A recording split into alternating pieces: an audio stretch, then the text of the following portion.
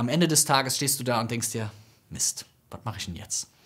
Und ich habe dir zwei, drei Beispiele mitgebracht von Unternehmen, von Dingen, von denen du hoffentlich eine ganze Menge mitnehmen kannst, dass du vielleicht nicht über Nacht Millionär wirst, aber vielleicht mit ein bisschen mehr Zeit. Vielleicht wären es dann zwei Nächte.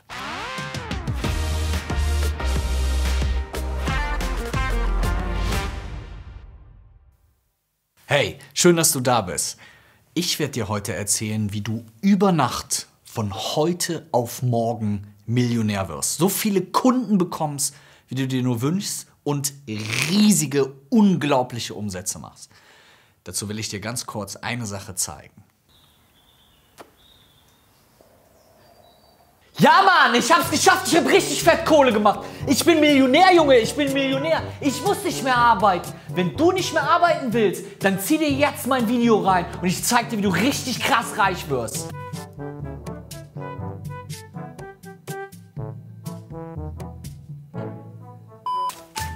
Ich mache mit einer super sicheren Methode jeden Tag 600.000 Euro und das kannst du auch. Ganz ehrlich, kennst du solche Spots?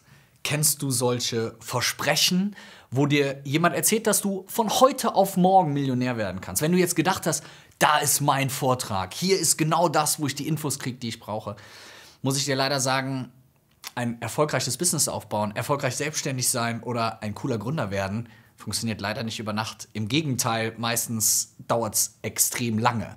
Und jeder, der dir im Prinzip erzählt, das geht von heute auf morgen oder innerhalb von zwei Wochen, erzählt dir im Endeffekt eigentlich Quatsch.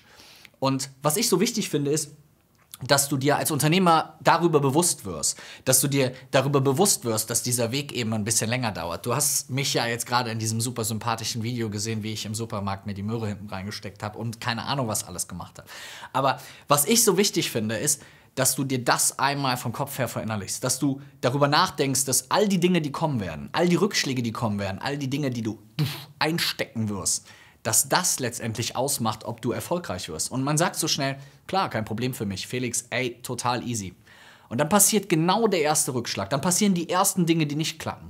Dann kommen keine Kunden oder deine Kunden zahlen keine Rechnung und am Ende des Tages stehst du da und denkst dir, Mist, was mache ich denn jetzt? Und ich habe dir zwei, drei Beispiele mitgebracht von Unternehmen, von Dingen, von denen du hoffentlich eine ganze Menge mitnehmen kannst, dass du vielleicht nicht über Nacht Millionär wirst, aber vielleicht mit ein bisschen mehr Zeit. Vielleicht wären es dann zwei Nächte. Ein allererstes Produkt, was ich dir ganz gerne zeigen will, was du sicher kennst, ist das. Und ich muss sagen, es ist immer eins meiner Lieblingsprodukte. Ich bin heute Morgen extra noch im Supermarkt meiner Wahl gewesen und habe dieses Produkt gekauft. Du kennst es. Nutella. Und was ich so interessant bei Nutella finde, das ist so ein Produkt, das gibt es seit tausend Jahren gefühlt. Ne? Und ich habe dieses fette Glas in der Hand, was ja wirklich auch wiegt. Ne? Ich habe ja richtig was im, in der Hand liegen. Und das Interessante ist, stell dir mal vor, dein Nutella-Glas geht leer. Du kommst nach Hause, du willst dir ein Brot mit Nutella machen und dein Nutella-Glas ist leer. Du gehst zum Schrank, zum Vorratsschrank und da stehen so 20 so Nutella-Gläser hintereinander und du greifst so das erste Nutella-Glas weg, gehst mit dem Nutella-Glas in die Küche, machst das Nutella-Glas auf und hier kommt eine ganz, ganz wichtige Sache, die ich gerne mit dir gemeinsam machen möchte. Vielleicht weißt du, was passiert. Dieser Moment, wo du das Nutella-Glas öffnest. Und ich will es mal mit dir ganz gemeinsam machen. Also pst, ganz leise sein zu Hause jetzt. Wir drehen oben an der, mein Gott, ist das feste zu, an der Plastikkappe. Wir drehen, wir drehen, wir drehen, wir drehen. Und jetzt kommt ein Widerstand.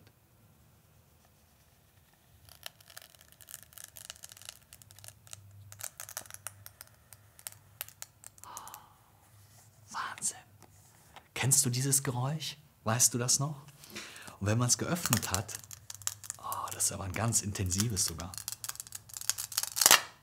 Wow. Ich glaube, das ist so demomäßig das Beste, was ich bisher jemals hatte. Und wenn man es geöffnet hat, kommt diese goldene Folie. Und das Interessante an dieser goldenen Folie, guck mal, ich kriege Gänsehaut. Ich habe selber Gänsehaut von diesem Geräusch. Ne? Also kein Quatsch. Und es kommt diese goldene Folie. Und das Interessante an der goldenen Folie ist das, was fehlt. Es gibt nämlich keine Lasche, an der du jetzt reißen kannst. Und du hast jetzt zwei Möglichkeiten, das Nutella-Glas zu öffnen. Möglichkeit Nummer eins, kannst du ja mal für dich zu Hause überlegen, sind die, die mit dem Messer einstechen und das mit dem Messer aufschneiden. Möglichkeit Nummer zwei sind die, die das mit dem Finger machen. In der Regel gibt es keine Hybriden, die, die mit dem Messer denken, ey, wie kannst du es mit dem Finger machen? Und die mit dem Finger denken, ey, wofür brauchst du ein Messer? Aber das hier, das ist ein perfektes Beispiel für zwei Dinge im Marketing. Für ein Öffnungsritual, was wir heute Unboxing nennen, weil diese ganzen Geräusche und das auch, was ich sehe und die Haptik des Glases und ein zusätzlicher Verschluss, das ist ja nicht willkürlich gewählt von irgendeinem Produktdesigner, sondern es geht um Unboxing. Es geht um das Gefühl, das Produkt zu bekommen. Stell dir vor, du kaufst dir ein iPhone, du kaufst dir einen Laptop, ein MacBook und du holst es aus dieser Verpackung, aus diesem Stülpdeckelkarton und du ziehst es so nach oben weg. Das ist ein Öffnungsritual, was hier sozusagen stattfindet. Und eine zweite Sache, die ich im Marketing ganz häufig merke, ist, es geht nicht nur um den visuellen Reiz, sondern du hast weitere Reize. Du hast einen haptischen Reiz. Das Ding hier, das, wenn ich das auf den Boden fallen lasse, da ist hier der Boden kaputt. Ja, das ist richtig schwer. Wenn ich das hier in die Kamera schmeiß, dann scheppert es. Du hast einen olfaktorischen Reiz. Riechen, ja. Du hast einen auditiven Reiz. Mach dir bitte mal bei deinen Produkten, bei dem, was du anbietest, was du tust, Gedanken dazu, wie du auch die anderen Reize nutzen kannst. Was kannst du noch machen, um hier deine potenziellen Kunden anzusprechen. Ein erstes Beispiel dafür, was man im Marketing schön machen kann, und ich freue mich total, dass das mit dem Glas funktioniert hat. Kommen wir von Nutella zu einem anderen Schokoladenbeispiel. Ich hatte folgende Situation. Wir hatten Weihnachtsfeier im Unternehmen. Das ist super. Weihnachtsfeier kennst du?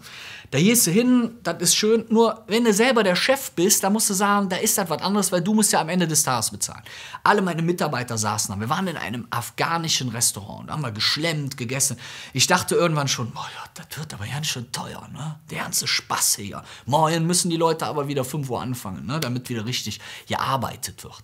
Aber es ging dann schön weiter und wir haben gegessen und meine Programmierer, drei Programmierer saßen da die trinken immer Gin Tonic. Weißt du, früher haben die Leute Bier und Wein getrunken, das kostet 2 Euro.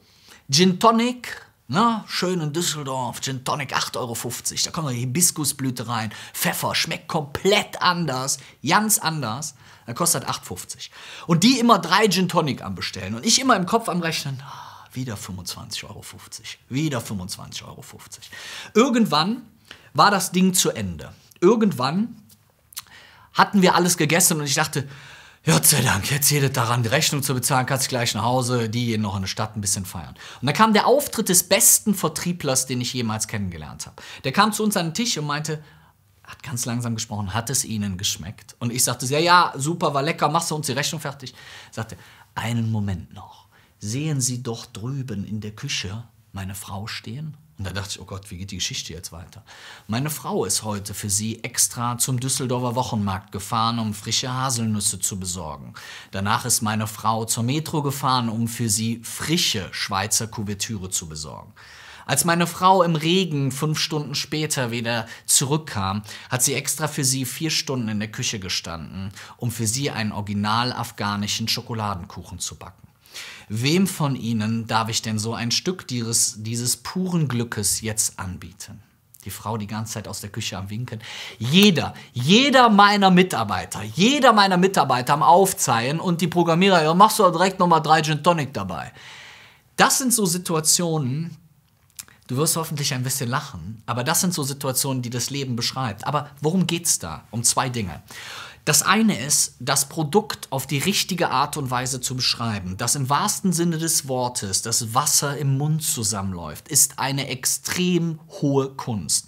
Der zweite Punkt ist, obwohl es eigentlich zu Ende war, obwohl wir bereits gegessen hatten, kam der Auftritt dieses Vertrieblers, der uns gezeigt hat, dass ich dranbleiben muss, dass ich Upsells verkaufen kann, dass wenn ich das Gefühl habe, eigentlich ist es zu Ende, dass dann genau der Zeitpunkt ist, nochmal einen oben drauf zu setzen. Und das hat er super erfolgreich gemacht. Er war nämlich nicht nur der Kellner, sondern gleichzeitig auch der Eigentümer dieses Restaurants und der hat gezeigt, wie sehr man, wie sehr du für deine Idee kämpfen musst, wie sehr du dich ins Zeug legen musst.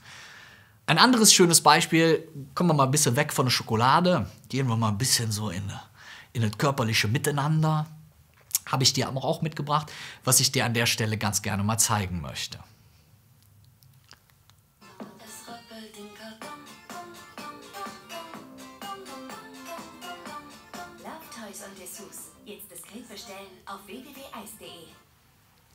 Eis.de, kennst du vielleicht? Was sag ich da? Äh, Erwachsenenspielzeug. Zwei Sachen, die du da für dein Marketing wieder mitnehmen kannst. Erster Punkt ist, früher waren doch Sexspielzeuge, das war was Anrüchiges. Da bist du, ich natürlich nie, aber da bist du hinterm Bahnhof gegangen. Hinterm Bahnhof gab es dann, ein, von mir aus, Beate Use Store, wo du reingegangen bist, hast du ein Cappy an, Sonnenbrille angezogen, dann bist du so reingegangen, was haben sie mal, haben sie hier irgendwie und hast dann da Produkte gekauft ein ziemlich schönes Erlebnis, muss man sagen. Für eine sehr schöne Nebensache, also ein nicht wirklich tolles Einkaufserlebnis. Und du siehst ja, wie sich dieser Markt massiv verändert hat. Egal, ob es jetzt Eisdee ist, ob es Amorelie ist oder wer auch immer es am Ende des Tages ist. Aber Sexspielzeuge haben ein Problem. Und damit meine ich jetzt nicht, dass die Batterie leer geht, sondern wenn du mal darüber nachdenkst, du sitzt jetzt irgendwo im Unternehmen, bist am Arbeit Hast du jetzt bei Greater in Köln angefangen und denkst dir, ach, hör mal, ich habe gerade Mittagspause, ich bestell mir mal was bei Eis.de. Jetzt bin ich fast nie zu Hause und lass mir das in das Büro schicken. Dann landet das vorne bei der lieben Empfangsdame, die dein Paket von Eis.de entgegennimmt. Ach, guck mal, der Felix, der hat neu bei uns angefangen, hat sich erstmal schön was bei Eis.de bestellt. Da weiß doch jeder direkt, dass du Sexspielzeug bestellst. Jetzt kannst du sagen, das ist mir egal, aber den meisten Leuten wäre das ein wenig unangenehm. Oder zu Hause nimmt es die Frau Müller entgegen. Der Frau Müller kriegt das Paket, die nimmt alle Pakete an, dann kommt die abends zu dir und sagt, Herr Dönnissen, da ist was für Sie gekommen. Sagst du, ja, was ist denn da gekommen? Ja, da ist was für Sie gekommen. Ja, was? Ja, Sie haben das Sexspielzeug im Internet bestellt. Sie wissen aber, 22 Uhr ist doch bei uns Nachtruhe. Was will ich dir damit sagen? Eine Sache, die ganz wichtig ist, die extremst viele Unternehmen falsch machen. Du musst dir deinen kompletten Verkaufsprozess anschauen. Vom ganz am Anfang, vom ersten Kontakt bis zum wirklichen Verkaufsabschluss. Nur wenn das Ganze im wahrsten Sinne des Wortes eine Röhre ist, die Wasser durchlaufen lässt und die Absperrhähne, die 500, die dazwischen sind, sind nicht zugedreht, nur dann wirst du erfolgreich sein. Welche Erfahrung hat Eis.de gemacht? Eine sehr schöne.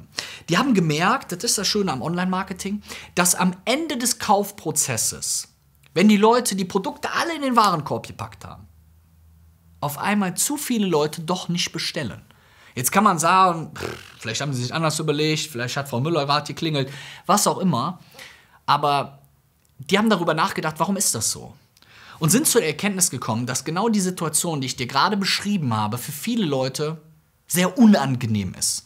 Die denken sich in der Situation, oh Gott, nee, dann nimmt das Paket irgendeiner, dann wissen die, dass ich mir hier so Schmuddelzeug im Internet bestelle.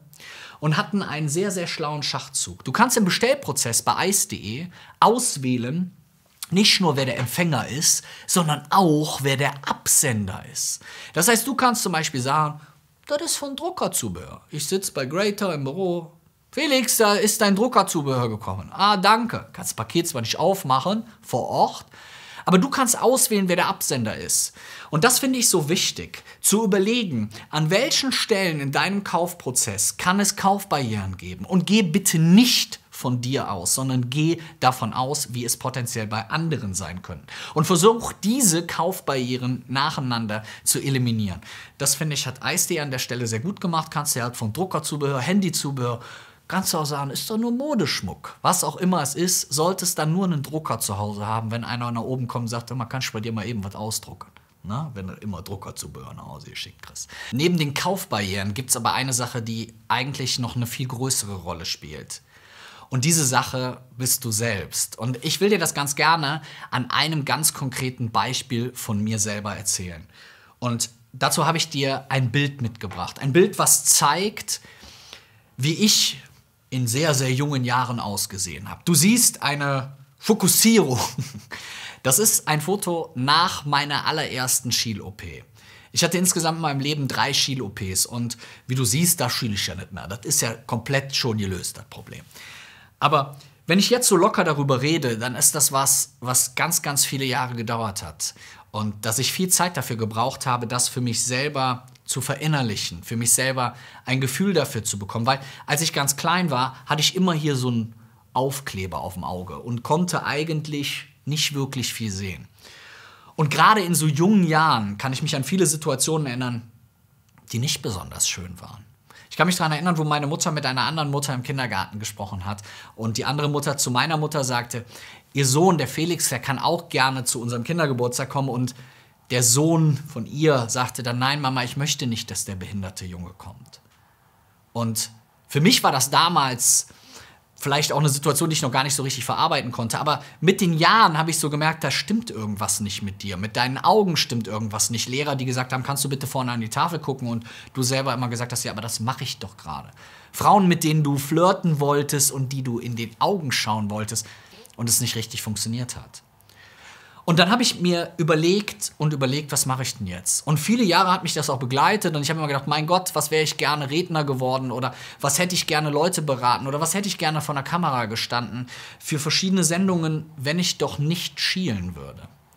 Und dann habe ich mir die Frage gestellt, ob es etwas ist, was ich persönlich ändern kann. Etwas ist, wo ich das Gefühl habe, dass es mich nicht nur mein ganzes Leben noch begleiten wird, sondern dass es immer, immer wieder Leuten auffallen wird. Und dann habe ich mir die Frage gestellt, ob es etwas ist, was ich persönlich ändern kann. Und bin zu, dem, zu der Erkenntnis gekommen, dass das überhaupt nicht möglich ist, dass ich das eben nicht mehr ändern kann. Es ist ein Teil von mir, so wie du Dinge bei dir haben wirst, die ein Teil von dir sind, die zu dir als Person dazugehören. Genauso wie deine Stärken wirst du diese Dinge haben, die du als Problem bezeichnest, als Herausforderung, als Schwäche oder als etwas, was du unbedingt ändern willst. Du solltest dich aber fragen, ob diese Dinge dein Leben lang eine Entschuldigung dafür sind, dass du deine Ziele in dem einen einzigen Leben, was du hast, nicht erreichen konntest.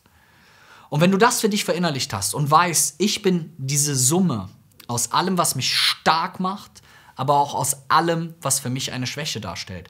Wenn du das in deinem eigenen Kopf verinnerlicht hast, dann wirst du auch stolz darauf sein. Dann wirst du sagen, ja, es ist ein Teil von mir, es zeichnet mich vielleicht sogar aus. Andere Leute können nur gerade ausgucken. Ich kann auch zwei Sachen gleichzeitig angucken. Wer kann das schon? Also versuch dich selber genau auf diese Dinge zu fokussieren. Werf einen Fokus auf das, was dich stark macht. Verurteile dich aber nicht für die Dinge, die du vielleicht nicht kannst. Und ich glaube, dann wirst du ein ganz, ganz großes Stück weiterkommen. Ich wünsche es dir auf jeden Fall.